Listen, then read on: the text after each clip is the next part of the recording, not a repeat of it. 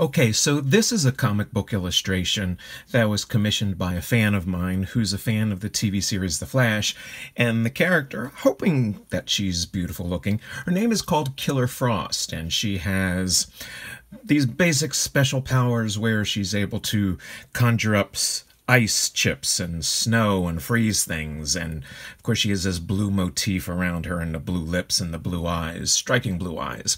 Anyway, this is the finished product that's going to go to my customer friend.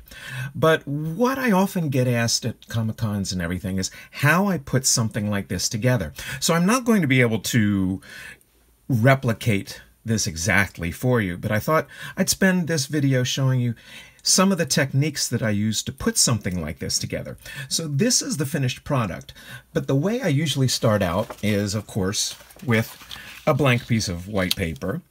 And what'll usually come first, because I love working traditionally, and traditionally meaning that I like drawing by hand. A lot of people these days love using digital art, and that's very cool. I enjoy, you know, seeing the amazing results that people get with that. But I like working by hand and feeling, you know, my hand on the paper and transferring, you know, my own thoughts to it, being able to fix some mistakes. So during this video, again, I'm going to show you how some of these techniques that I use to put this together come to be a completed drawing. So what I'll start out doing is with a just a basic pencil and start doing a rough sketch of it. And what comes next is a process that you're going to see here, which is the finished inked product. So after I lay down the pencils, I go over it with a brush uh, an ink brush. So this, there's all kinds of different styles for you to use. I'm happen to be using sort of a, a Pigma brush here. It's basically just a plain brush pen. And a lot of the techniques that people use, when you can use one of these brushes, if you're very careful with it, you can get, you know, a very thin hairline line, or depending on the pressure that you put on the brush, you can get a little bit of a thicker line. And you know, you can get a little bit of a variety of, of thicknesses that way. It just depends on how lightly or how strongly you push down on the brush. Now you can get, you know, the same sort of results by using, uh, for inking, basically a simple Sharpie. You know, in a Sharpie you can use, and depending on, you know, the dexterity of your hand and your skill level, you know, you can use a Sharpie to do some coloring techniques or some of the inking. And one thing I ironically found was that a simple Crayola pen, no, you don't use it for a real commission piece of work, but maybe doing some sketching. But a Crayola pencil or ink will also give you, you know, a variation of lines where you can basically just very quickly draw something like this so we're going to do, you know, a very quick eye right there. So you see how I drew that in there. And you'll put maybe a couple of lines around the outside of that. So you can get that kind of technique with even something as simple as a Crayola pen. But I'm going to do this professionally. So again, we want to get all the variations of lines that's going to go into this finished product.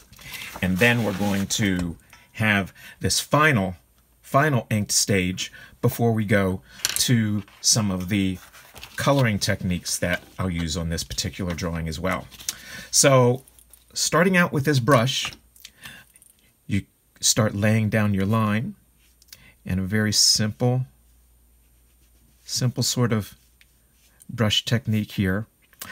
I'm doing this very quickly, but I'm going to show you, you know, exactly how I laid it down for the final drawing. So this will give you a sense of what you can do with a brush. And when you're doing eyes, this so I'm laying down the iris of the eye around it, and you often want to leave maybe a little bit of a reflection of a white area there to show that there's some reflection hitting the eyelid, or hitting the iris rather. And then you can take the brush and just sort of flick it like this. like almost like you're flicking away a fly or something like that. And maybe put a little bit of thickness in this area here. And over the top, you can flick again, just very light brush strokes. A lot of my inking technique came from reading a lot of comic books, and when there were so many different inkers working for the various comic book companies and amazing inkers. Um, one of the ones that influenced me the most is a Marvel veteran inker named Joe Sinnott, who, when another inker, or rather penciler, would lay down the pencils, uh, he would come along and then render it in his style, his own unique style, as many inkers have, and go over the pencils. And some people think, some people who don't know comic books very well think, well, that's just tracing over somebody else's artwork. It's far from tracing. What you're doing is you're complementing that person's work and adding your own style to it. So you see how I've very quickly, you know, just with a brush and this pen here that has one solid line, we've been able to make, and I'm putting a little bit of the striations here for the eye. And here we have, I'll put a few bits of detail here. And again, flicking with various degrees of pressure and whatnot. And there we have, you know, very quickly, an eye, a woman's eye. So that's how I would lay down the inks for that. So I'm going to show you now how that worked on this portion of the drawing here. Whoops, slid down a little bit there. There are little accidents that take place when you're doing some drawing, so we'll make that stay up there a little bit. So I've got the brush here now. So I'm going to take the brush, and again, I would, you know, maybe make this very bold. A lot of the time, you can see that there's a bold line around her face, a bold line rather than the thinner ones in the background.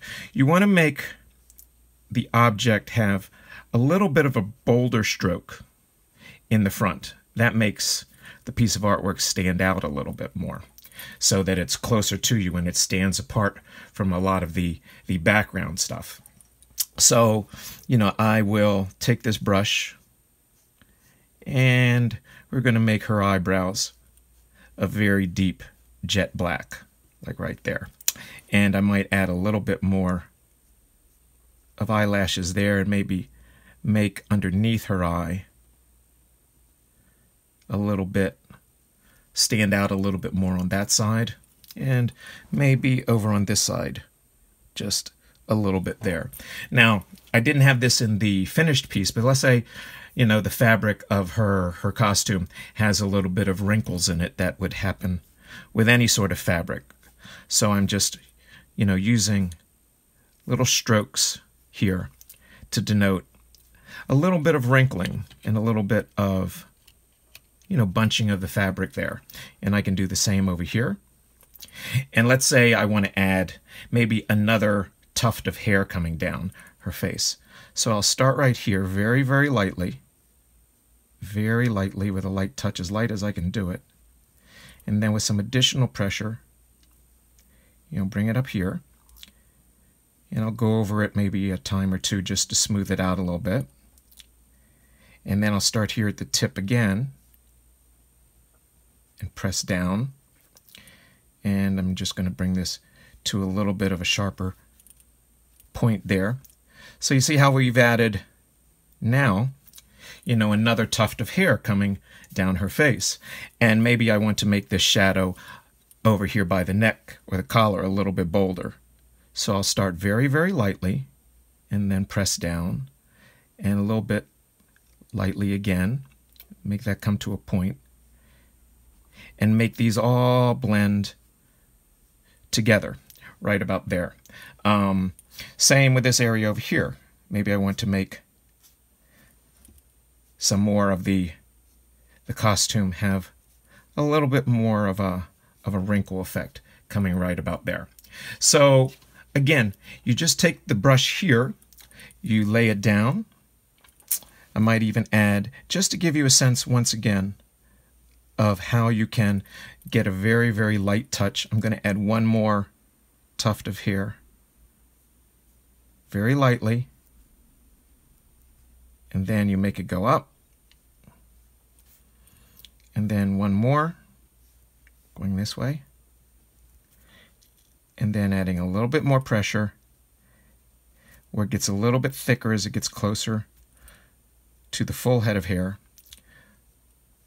So there we've got, you know, maybe three separate locks of hair coming around. So that's where we start with the inking process there. So getting back to now, you know, the color version here, and you can see how I had the little lock of hair done that way, and the bolder lines on her shoulders and around the shoulders here, and for the costume. But now we've got to start putting in some of the color. So in laying down the color, you want to probably put down a basic, basic coat of using markers like these. Some people use Copic markers or that uh, their brand. This one happens to be another professional marker that uh, one uses. Um, so let's say for her costume, we'd lay down, you know, a very basic undercoating, if you will, right here.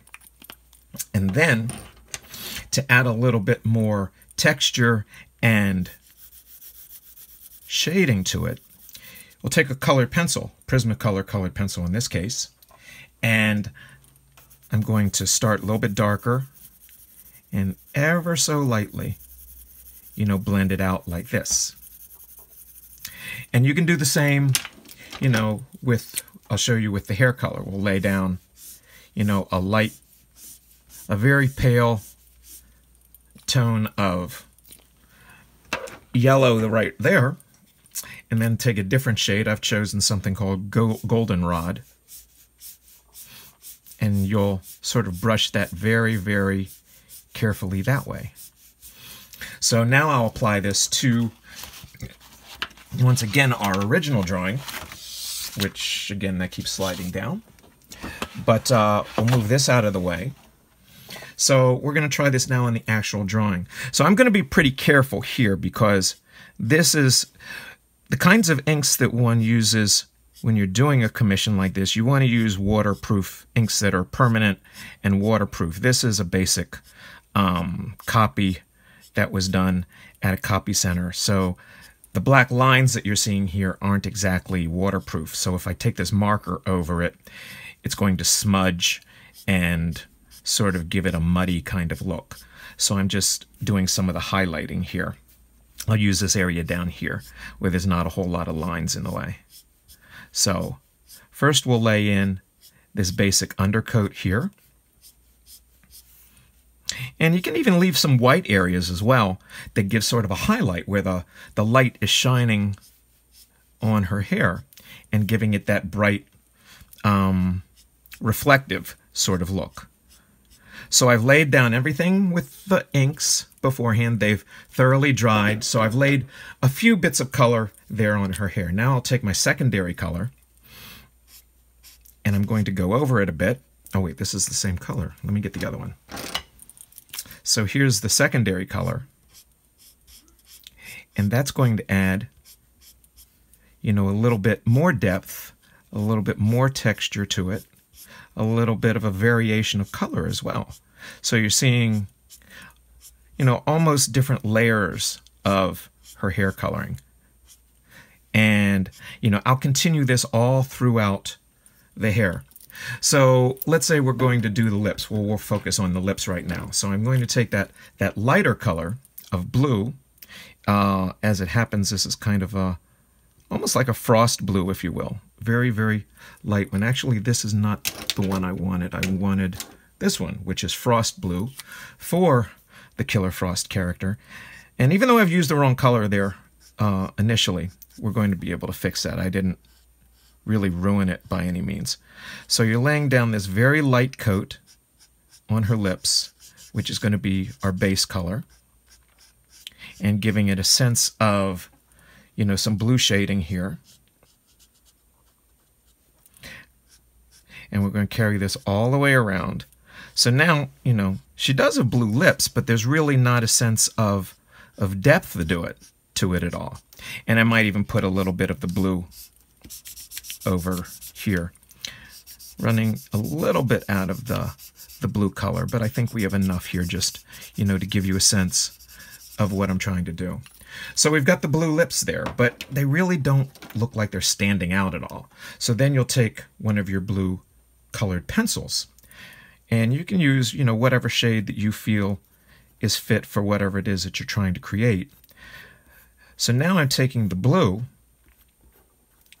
and I'm adding some texture, some some shading, and some shadowing to certain areas to make the lips have sort of a roundish, you know, the roundish, yeah, definitely sort of luscious look that you want um, on this sort of character's lips. So I'm going to put underneath here, you always want to be aware of, you know, kind of where your light source is coming this way. So underneath here, the blue is going to be a little bit darker because that's also going to be kind of like a shadowy area. And then over here, we'll add some of the blue under here. And we'll blend it on this lip. And making sure to go around the lip all the way this way. And you just keep working this until, you know, you feel that you've got it exactly the way that you want it to be, really. Um, and you can mix a whole variety of other colors as well. Um, you know, depending on what your imagination is working on, no matter what your your creation, your creativity is going to be asking for you to make. So now, all right, you see now we've got a little bit more shape, a little bit more depth here. And I can do the same down here on this bluer area here.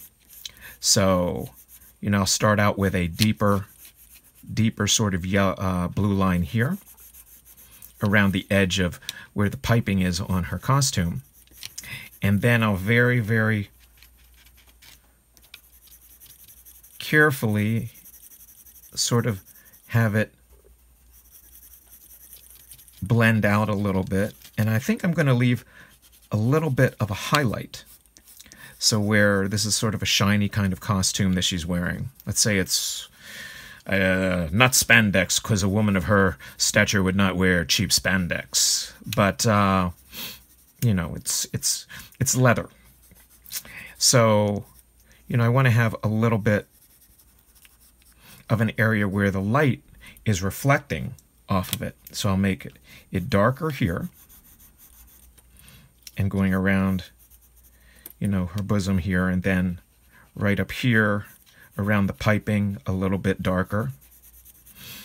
But then I'm going to ease up on the pressure on the colored pencil.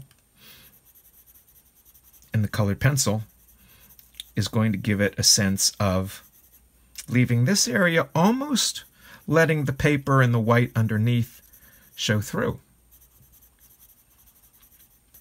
And you can see now how we have sort of a leathery kind of look, or at least, you know, a glossy kind of look there.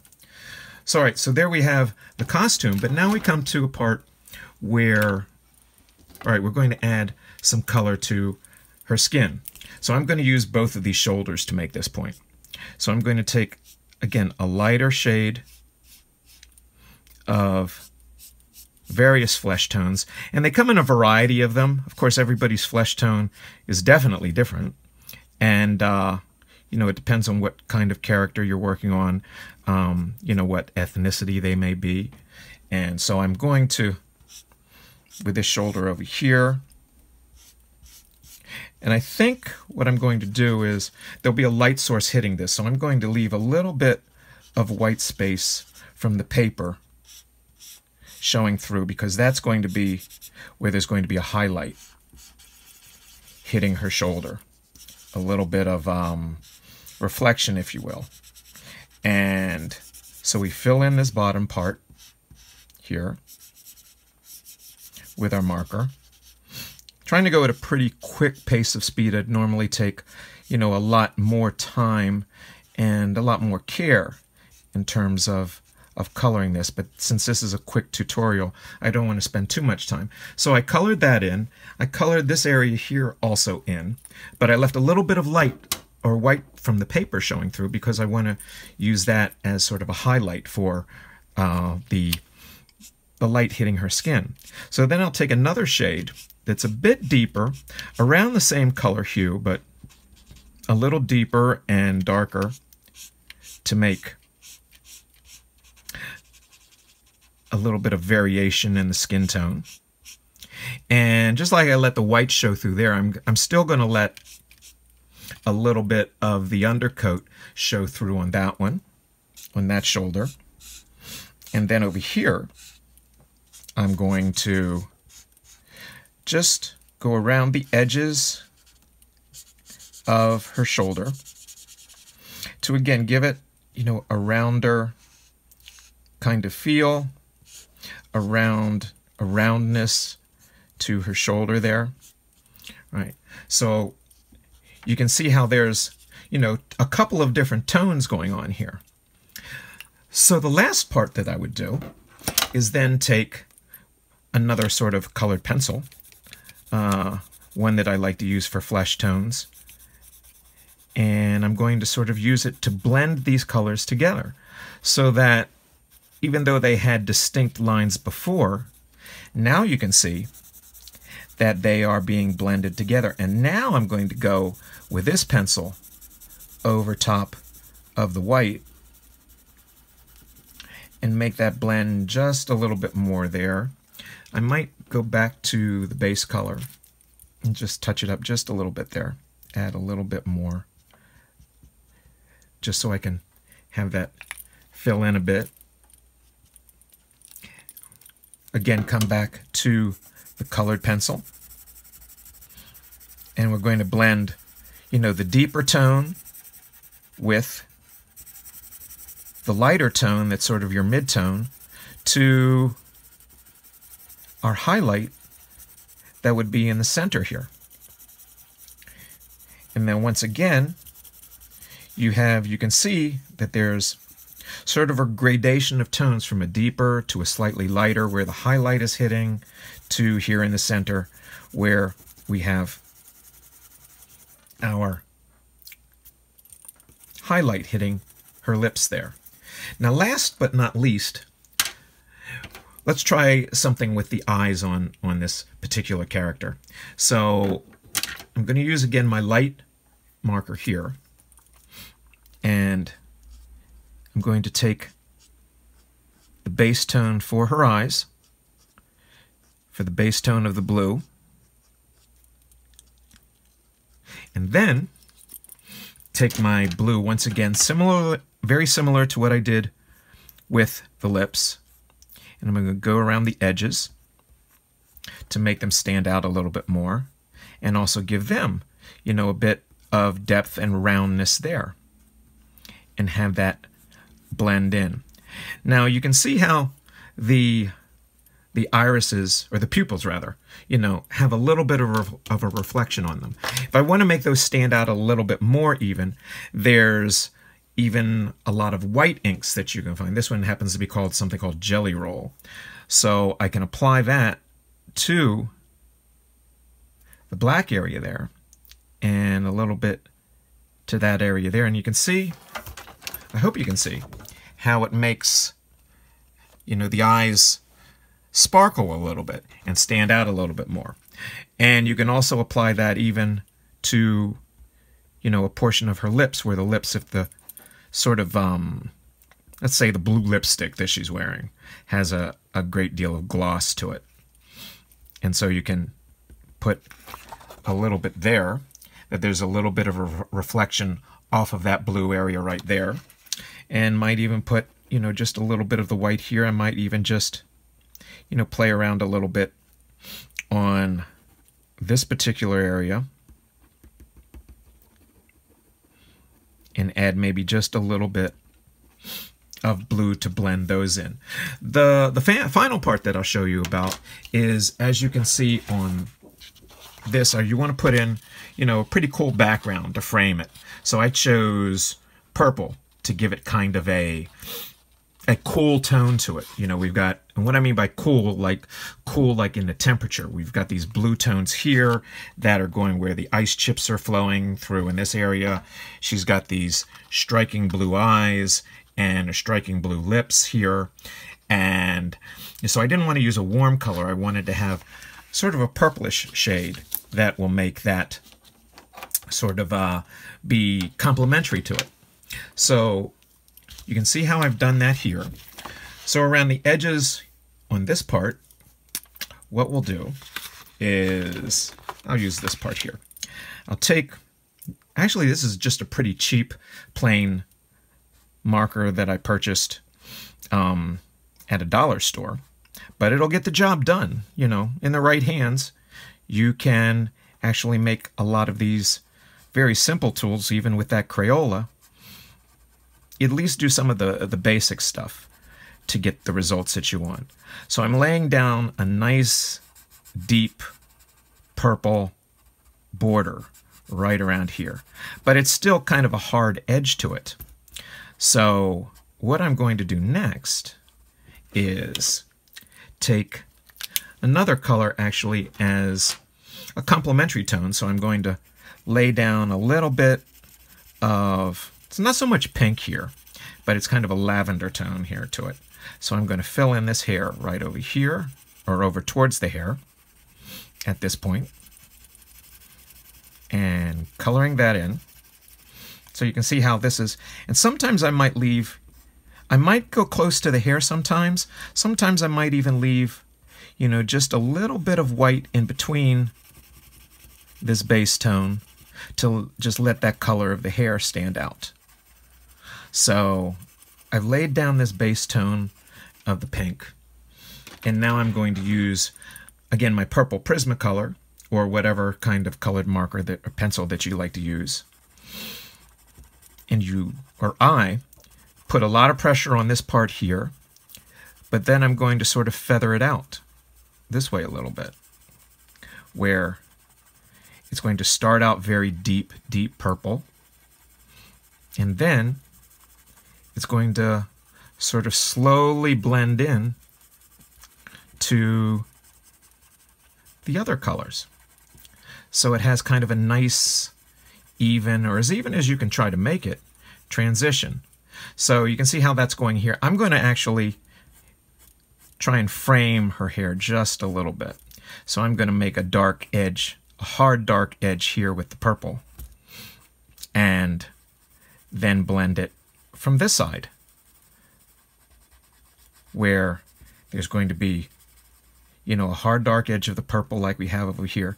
And then you have your background with not only a variety of color, but you've also got a very cool sense of depth to it, maybe even a little sense of, of shading there, a little bit of highlight there. And that is how you can get various shades of your background by using three basic techniques where you're laying down, after you do your pencils, that is, you do your inking, then you use your colored markers to lay down almost your basic primary coat, if you will, if you want to think of it that way in terms of painting. And then you use your colored pencils to touch things up and finish them off and do them other little you know creative touches that you'd like to use. So I'll give you a closer look here. Again we've got our our deep blue purple and then I feathered it out with the colored pencil. And over here with over here with our blue shoulder, or rather her flesh tone shoulder here, but the other part of her arm. We did that with the light blue and then took the blue pencil and the blue pencil that we used to darken that in. We have her lips and we have her eyes and also with the hair you play around with it that way with various shades and tones. And there is basically the techniques that you use to come up with this at the very end. So again, practice with those brushes. You know, take, especially if you're a novice to working with a brush, you know, just have a lot of fun in terms of, you know, trying to to do some things. You can even make little sections where the hair can just be jet black and just by feathering it out like that. So this is, let's say we've got, you know, somebody's head like right here. You know, we'll put a couple of eyes there. Well, you know, they're representative of eyes. But this is the top of the hair, so it's very, very flowing hair going into the background like that. So just practice with the brush, with different kinds of pens. And to sum up here, this was our finished drawing. And you can see how we've got the hard line there, and then it feathers off into this lighter area here. Here's where I left some of the paper show through here for the highlights. Um, the various striations in the hair where there's, you know, a lighter tone and a darker tone. I also did the same thing that I described over here with the sort of superpower of ice chips and everything flying with a hard blue line and then having it feather off a little bit like that. And lastly, as I said, you can use any number of white markers to add a little bit of highlight to some of these areas. And also, if you make a mistake, these markers or these pencils sometimes can actually fix a mistake here. This one seems to be not be working quite as well, but take a look at this side by side. This is what, what the original looked like, and this is how I've just demonstrated how these techniques work. They almost, we'll put them side by side like that. So here's the finished piece. Here's the demonstration part here. Here are the two faces side by side, where you can see how the eyes, how the eyes have a little bit of shape to them, and the, the lips have a lot of shape to them. And then here on the shoulder, where we laid down the flesh tones, the flesh tones here, a deeper flesh tone, and then use your colored pencil to go over top of it. And that's how we come up with our finished product here. So that, in a nutshell, is how I come up with a lot of these drawings. And I experiment with a lot of different techniques. I'll give you a closer look at some of these. So there's, you know, there's her face. And using a lot of other markers for the fine lines for her hair. And again, you'll see how I carried the purple all the way around. This way I made the ice chips stand out actually with just a regular school highlighter to get that kind of blue. So experiment with different kinds of tools that you want to use. So I hope this has been helpful. I hope you enjoy it. You can find a lot of my artwork on various places. You can find my artwork actually on Facebook or Twitter or Instagram. I'm at Tim, E S T I L O Z, Art on Facebook. And on Instagram, you can find me at T I M E S T I L O Z. Follow my work on Instagram and on Twitter that way. And also, you can find my work pretty much if you do a Google search as well. So, Tim Estiloz Art on Facebook, Tim Estiloz on Instagram and Twitter. And also, you'll see this instructional video on YouTube, once again, under Tim Estiloz. So I hope you really enjoyed this, and I'm going to be doing some more videos like this again, some more tutorials, and I hope you'll tune in next time. So until the next time I put one of these videos together, everybody just keep drawing, and if you want me to draw, draw something for you, I have a motto. If you can dream it, I can draw it. We'll see you next time, everybody. Bye.